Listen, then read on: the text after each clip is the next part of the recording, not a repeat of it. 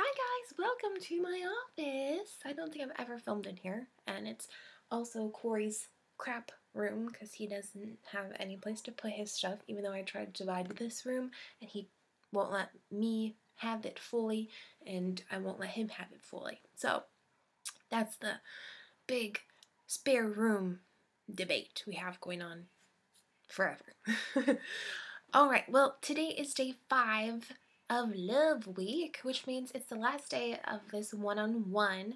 But hopefully, I will have a special video up for you tomorrow. And if I don't, it's all Cory's fault because he does not want to participate. So I really hope that we can film it tomorrow.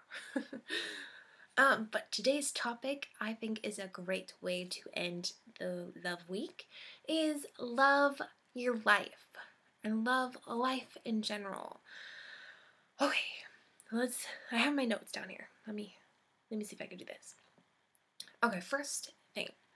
Life is what you make it. When life hands you lemons, you make lemonade. uh, but really, um, your life is in your hands, and there's two choices. You can good or bad, a positive path or a negative path. And sometimes we're on the positive path, but we get lost or we try to take a shortcut and we end up on the negative path. But it's possible to get back and to just keep trucking along and try to find your happiness. Uh, we all have those struggles, and if you're in a, a struggle right now, I feel for you, but just keep pushing along and, you know, think about the outcome and how this is going to define you. It's going to shape you into a different person.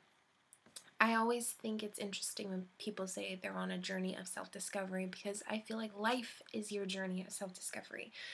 And we're constantly changing and learning and observing so much. So when you say, I'm this type of person, you're already changing from that. Yes, you have those features that will stay with you, but you are constantly changing. And every day you learn something new, whether you realize it or not, and that contributes to the person you are. Uh, I I just want to say that this is your life. Make it what it is. And that is your challenge. Your challenge is to think about where you are in life and to think about where you want to be and make small goals to get there. It is manageable and it's doable, and I have all the faith in you guys. So, that's about it. I just want you to be happy in your lives and take the positive road.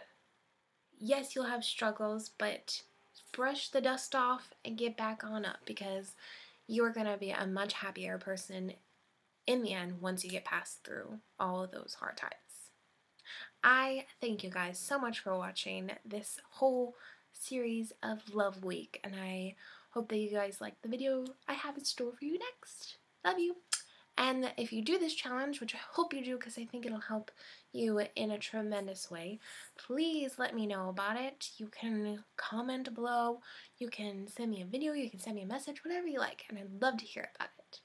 Alright, thank you, love you guys, happy Valentine's Day!